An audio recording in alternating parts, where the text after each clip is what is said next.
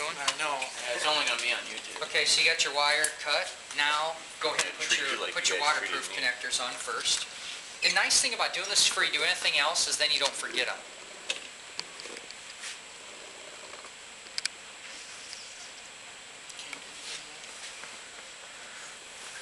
We try not to lubing this stuff up unless we actually use wire lube. Now, the problem is, this is a good example. He switched to a 14 gauge wire compared to where I was doing the 18 before. We can get that to fit. Now, what we'll do is, you- yep, just keep kind of, and you- sometimes twisting it helps.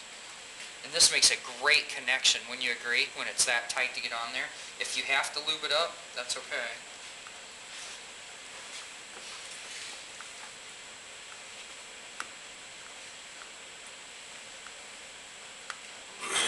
Now, you guys saw this in that video yesterday. What was Harley, or saying that they used 14 gauge wire on? Ignition, Ignition. What'd they use 18 on? lighting, Lighting, wire, oh, quite a few wire harness stuff. And then what did they use 20 on? stereo, What'd they use four? battery. Got it. Getting closer? Not really. It's, it's just that hard. Good thing is the next one's short. Spit on it. I got 12 gauge here. This isn't going on YouTube. This is unprofessional shit. Talking like that. You're taking it that way, I'm not. You wouldn't spit on this. Just stop. No, I meant stop talking. Just get that on there. I'm trying. my- Take it all the way back off. All that hard work. Come on. A good connection, yeah. You want heck of a waterproof connector, wouldn't it? It's not going anywhere. I was pulling on it. DNA. Would you do that in the shop? So would I do that? Spit on it? Yeah. You probably don't want my DNA too bad here right now. No, you may. How about, Sorry, I don't want. we're recording, Keith. Please leave. I got that one on. There's a, there's an intent the way we did that, right? It's just sometimes we talk about, this all the time in the class, about just adjusting our technique. Why, why do we really not want to use WD-40? Just let degrade the wire. Corrosion. Well, WD-40 is a great lubricant, but the problem is, we're dealing with electrical, is that really what we want? Is something that, you know, uh, is putting uh, a uh, a petroleum-based product around electrical? Could No, use this. that's cleaner. That gets super dry. If you take that and put it on your hand, you'll notice, look how white it's turning me. So this is like brake cleaner, that'd make it even worse. It'd be okay to clean it, but it wouldn't be ideal. Do you guys see how this is directional? He has them on here the right way. We want the bigger part that's gonna go up and slide on top of the connector, okay? So you're good. So let's uh, strip them. You can either use, uh, why don't you just for practice, why don't you start with these? Do one with this one and then do the other one with the uh, quick stripper. What gauge are you using? 14. Okay, so you're gonna match it up.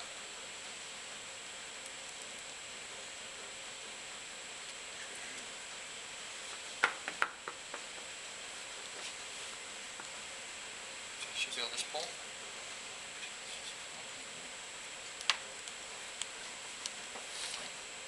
Now, notice how it doesn't have a real super clean cut edge. Okay, so what we're gonna do, we're just gonna fix that. This wire wasn't an exact length, we're gonna do it again, but this time what he's gonna do is he's gonna grab onto that, pinch it down, and give it a quick uh, twist all the way around. Just try it one more time. Now, remember, this is the wire that we were pulling on and stretching on, trying to put that cover on? We might have damaged or stretched that insulation a little bit, making it difficult. You left or right-handed? Right-handed. You can do it either way, whatever's comfortable for you. Just, you got that tight? Nice. A lot cleaner cut there. Now, the only thing I'm concerned about is I'm looking at the ex- excess here. Once again, we have a gauge, don't we? Every single time we have a gauge. So if we take a look at this, okay?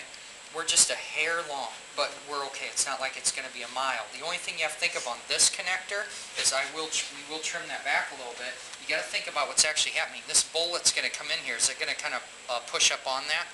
So now, why don't you just take your cutters and just twirl this up and just take a hair off of that.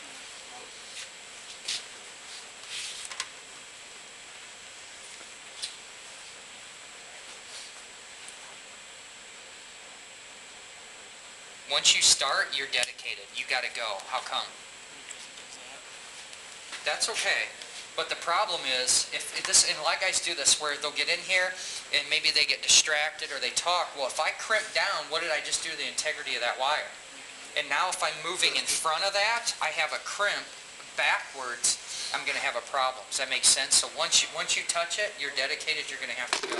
So you did that one, why don't you strip, or why don't you move to the wire stripper, do the other side. Now, if you go too long, does it matter? Because you can always trim it. So we really don't care. So don't be too worried or too fragile with it. Just get in there, So you know. going right here? Yeah.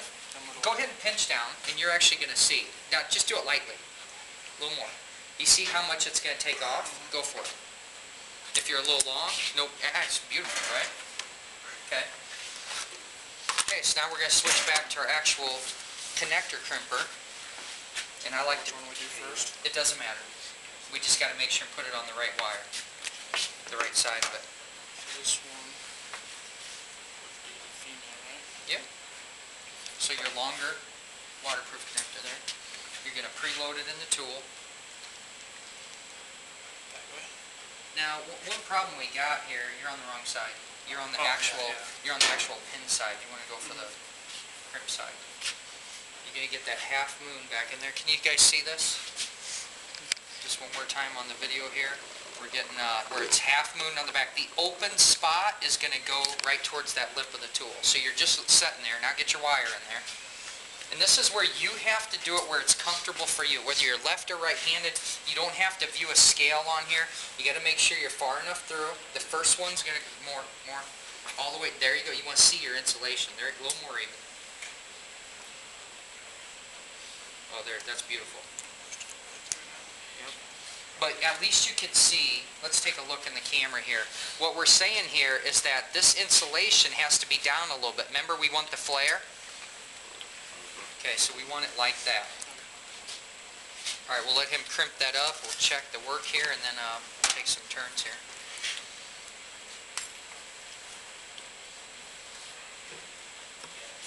And what you guys should do, yeah, notice how he decided to switch direction. You got to figure out what's going to be comfortable for you. Can't stress that. If it's not comfortable, you're going to end up having a bad connection. You're good. Right there? Go for it. Okay, nice. See how you're, now that he's in the installed place, he's got a little bit of insulation showing here. Now move to the top one. Use the same largest one on there.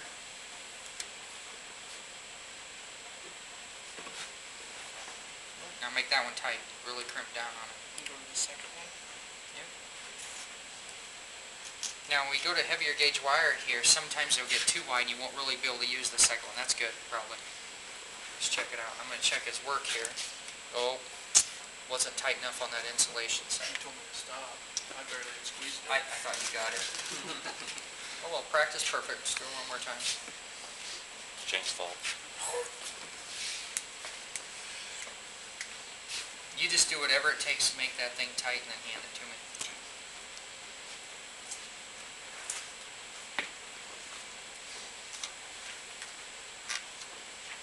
That shouldn't have pulled out though, because he went to the double crimp on the wire part of it, so.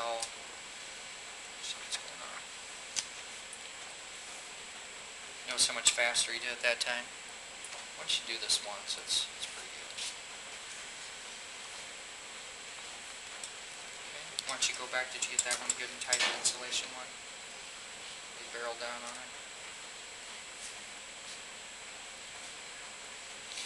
Okay, here's the reality. If I could pull this off here, it's gonna pull off when you're pulling it off the harness because the technician is grabbing the wire here anyway to pull it off. So that connector has to be on there good and tight. So now your last step is to slide your uh, waterproof connector up there. I hate calling that waterproof, because that is not waterproof. It's just a deterrent of water. Do You say like the best ones use those uh, watercraft ones. The Deutsch connectors, like we're uh, showing in the classroom here.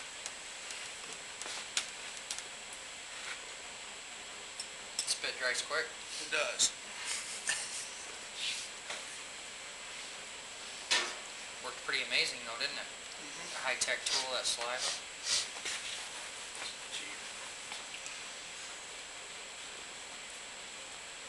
Under pressure. Now, what could it be done to make this easier before you start? Keep going. Yeah, you can spit on again. It'll dry.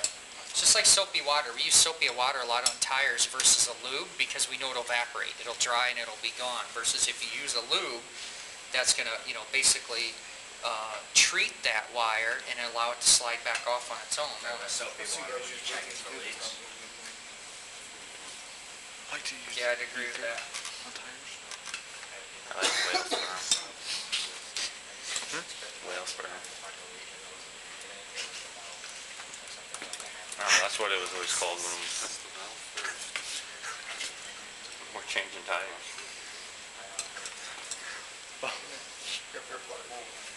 I'm not clicking on it.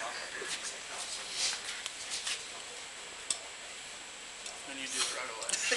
What am I doing different? Watch my technique. You're pulling from the bottom. I'm grabbing underneath here, pulling the wire, and I'm just actually, you know, I'm lifting that a little bit. Fingernails? I don't m- either, not that bad, but anyway, we're good there. So now, uh, we can, uh, why don't we switch to Jeff, why don't you come around and do this other one here? Like I said, you guys will all do this. Are we still recording? You want me to cut it? We can keep going. It's already done, I just want you to crimp that, and we'll just, we'll just start over with the new wire, but we do something different. took Shane to do everything.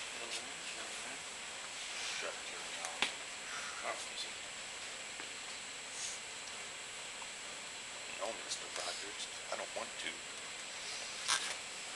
It's already done. You need to preload the tool.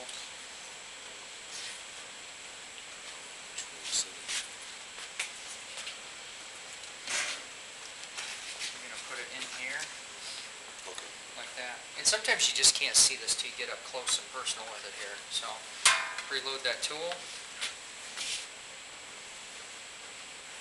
Okay, just a light little tension. Now get it comfortable for you, whether you're left or right-handed, whatever you're gonna do. That doesn't look very comfortable to me. That comfortable to you?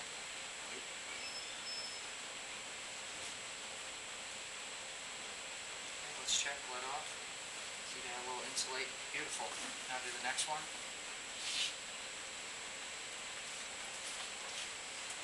It's a little hard to tell from above, now switch back. You ever go down on all three of them? No. And we'll do one, I'll show you why not to. Good. Do your insulation one more time on the top one. Now, you guys, for practice here, I'm having you take baby steps. If I was doing this, I'd just be in there just crimping down and going and moving forward. Does that make sense?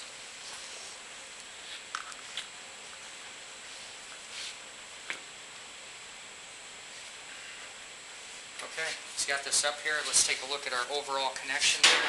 Once again, the whole idea to this is that, did you notice how I kind of had to, this is a little bit violated, whether it's from the way it was stored or whatnot, but you notice how I'm actually making sure before I put this through the bullet, that the, the male uh, insulator is actually going in the female insulator?